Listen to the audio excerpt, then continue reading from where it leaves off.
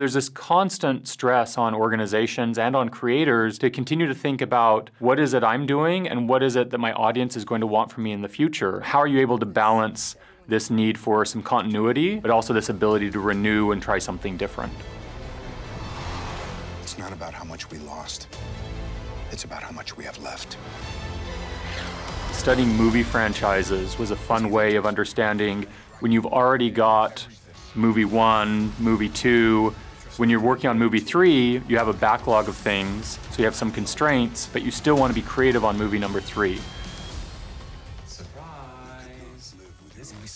Marvel's making really fun movies. And what they're doing is they're bringing in new voices into their process and then allowing those voices to let them violate some of the assumptions of what made the previous movie great. Over time, that makes an audience that is more willing to show up to a movie ready to be surprised and to be wowed, rather than an audience that shows up and they say, I hope that I'm going to get these three things from the product that I already expect because the last three products have given me those three things as well.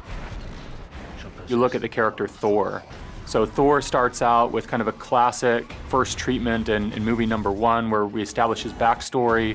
Movie number two, a lot of fans of the Marvel Cinematic Universe would say that's the worst movie in the entire 22 movie run. It feels very Shakespearean, very heavy. Now you come to visit me, brother. Why? And then in movie number three, they hire Taika Waititi, who's known for these kind of off offbeat sort of comedies and and these really unique kind of quirky characters.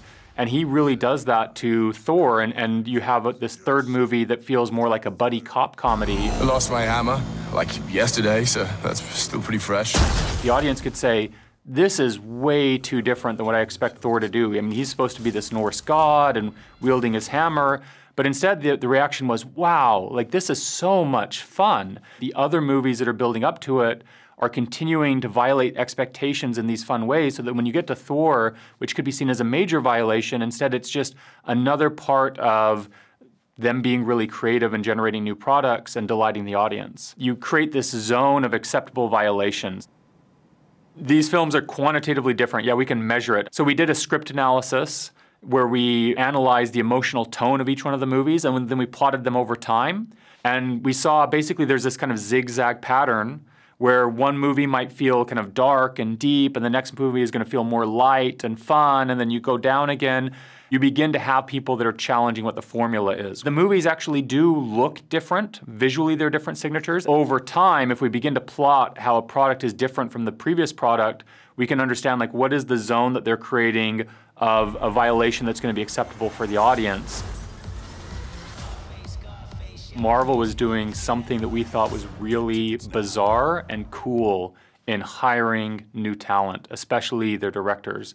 We called this selecting for experienced inexperience. They were hiring people that were inexperienced at making a blockbuster, but had really deep experience with some sort of a genre. One of the coolest examples of hiring for inexperienced experience is Ryan Coogler and Black Panther.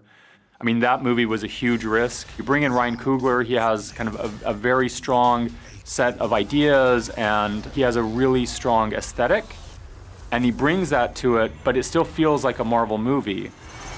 So what they didn't do is kind of force him to conform to some sort of a Marvel template. If anything, the forcing went the other way, where he kind of forced Marvel out of its comfort zone. Very often when we think about onboarding an employee, we think, how quickly can we get you to become exactly like us? Here what Marvel was saying is, you have something that we don't have, bring that so we can learn from you.